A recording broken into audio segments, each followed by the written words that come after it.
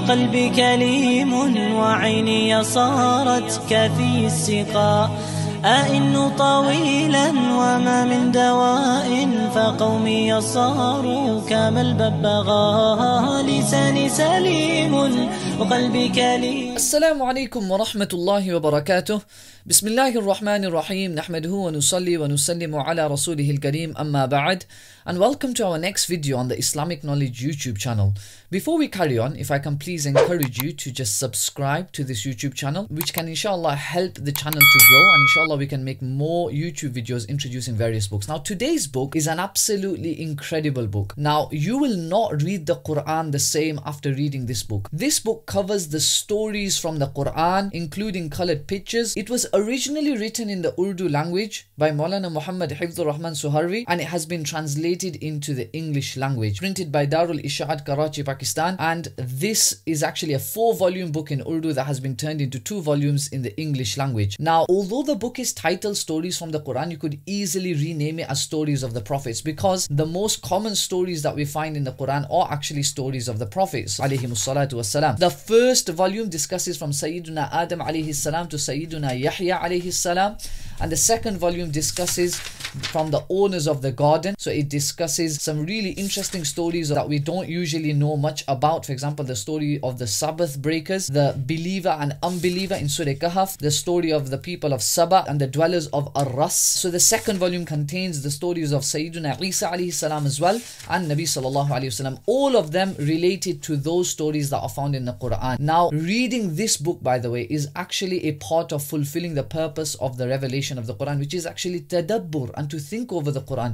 أَفَلَا Do they not ponder over the deeper meanings of the Quran? Now the author of the book obviously does not need an introduction. Mullah Muhammad Hifdh Rahman Seoharvi was actually a part of Jamiat Ulama Hind as well. And also he's known as Mujahid Millat because he played a great role in kind of forcing the British out of India. And a great portion of this book actually was written in prison.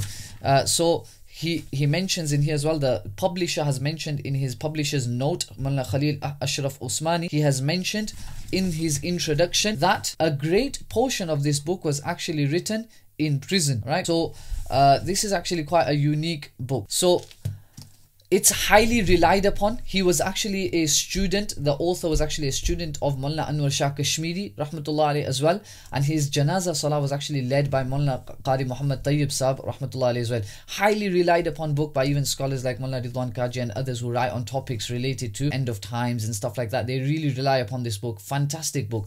Now, some of the unique features of this book, it's so incredible.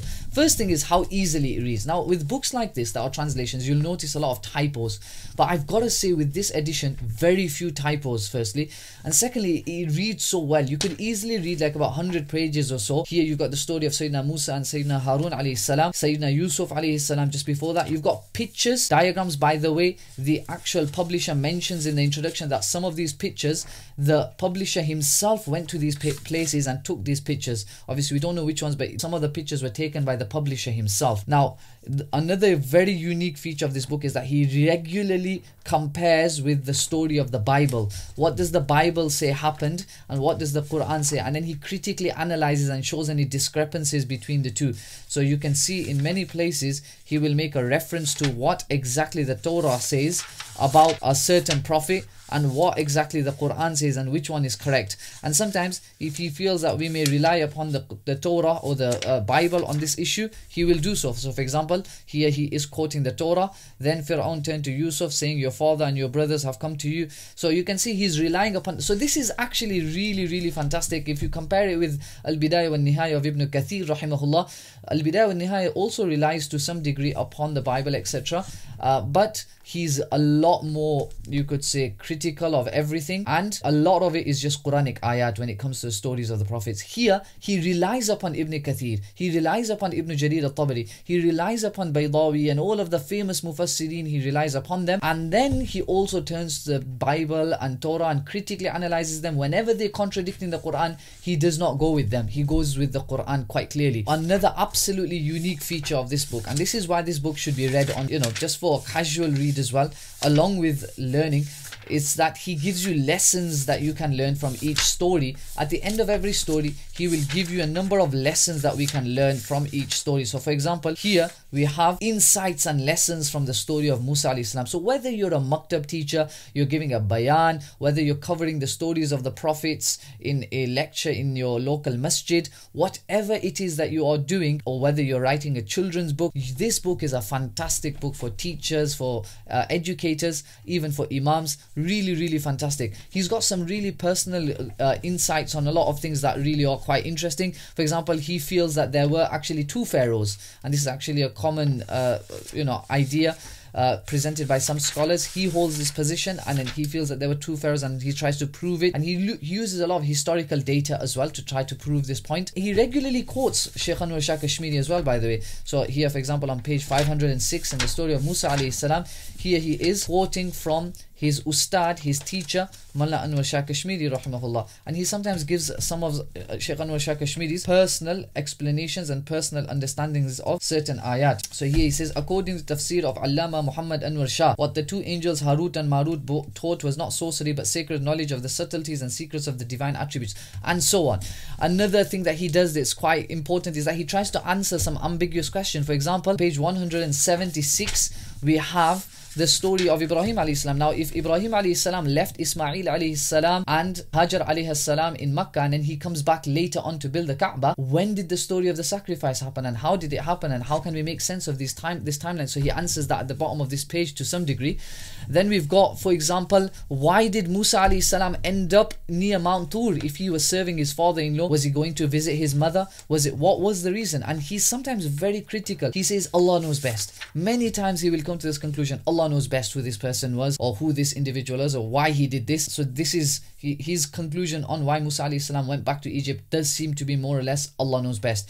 Even with regards to who did Musa salam meet, who was his father-in-law, was it Shu'aib alayhi salam or not? That too, he, he seems to have a very, very, you could say, nuanced understanding of the whole issue, presents all the different opinions, Ibn Kathir's opinion, Ibn Jarir al-Tabari's, and then he seems to be of the view that Allah knows best and we just need to follow the story. We don't really need to obsess over who this person was. He, another like ambiguous question that he answers on page 1516 is the time period of Ayub alayhi salam, which is up for a lot of debate even amongst the Christians.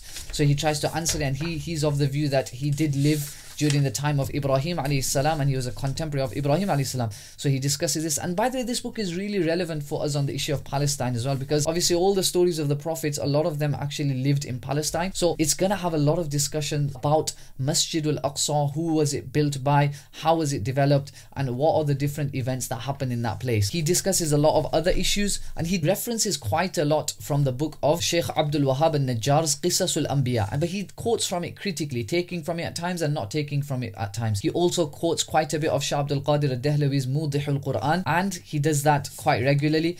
And another absolutely unique feature of the book is that he regularly refutes modernist views. So for example, here he is on the crossing of Musa alayhi salam of the ocean. There is a view of some modernists. For example, we have Sir Sayyid Ahmad Khan who holds the view that it was no miracle that happened so here he spends quite a bit of time refuting him and he says when some western minded reformers could not deny the miracle they took shelter behind these words of Torah. And he discusses Sir Sayyid Ahmad Khan and his views and refutes them. In other places as well he quotes Ardul Quran and he refutes that in many places as well. A lot of different different aspects are discussed in this book. It's an absolutely phenomenal book. You will really really benefit from it. Like I said volume 2 discusses the life of Nabi Sallallahu Alaihi Wasallam as well and the events during the lifetime of Nabi Sallallahu Alaihi Wasallam. So you can see we have got lessons from the significant battles. So whether you're covering Sirah, you can still use this book, stories from the Quran.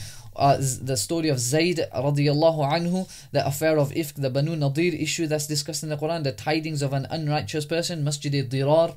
All of this is highly relevant for us when we are discussing Sirah. And this is obviously all coming from reliable sources. He's quoting Ibn Kathir, he's quoting Ibn Jarir al-Tabari. He even mostly, he gives you a reference to it as well. Uh, he gives you translations, he gives you Quranic ayat to back everything up. And he has, like I said, some unique insights. For example, another one, another unique insight is that he feels Dhul Qarnayn was actually King Cyrus, Cyrus the Great, according to him, and that was then adopted by some of the later scholars of today as well. So it's absolutely fantastic book. This book was actually in my library for a long time, and I, I someone before me had bought it, and it was one of my uh, family members that had bought it, but I didn't pay much attention to it. Only recently I opened it up and I just realized what an amazing gem this book actually is. And I would highly recommend for everyone to purchase the book and inshallah benefit from it. If you enjoyed this video, then please do give it a like, share it with others. You know, you, you would be propagating the message of the Quran here as well. So inshallah you will be rewarded and please do subscribe to the YouTube channel just as a motivation and support so that we can continue making some amazing videos inshallah. Jazakumullah khairah. Wassalamu alaikum wa rahmatullahi wa barakatuh.